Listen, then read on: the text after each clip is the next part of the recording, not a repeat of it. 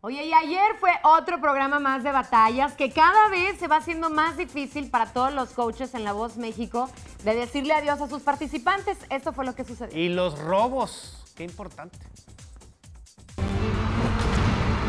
Continúan las batallas de la Voz México. Esta es la número 3, donde para los coach cada vez es más difícil decir adiós a uno de sus participantes, como Yuri, quien nunca puede contener sus sentimientos.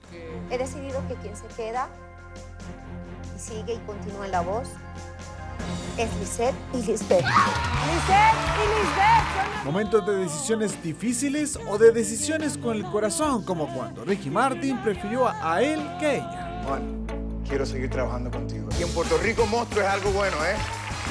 ¡Eso! Ah, por eso de los duetos o tríos hacían trepar al pelómetro de los coach hasta arriba. Te quise como a nada más, como al respirar.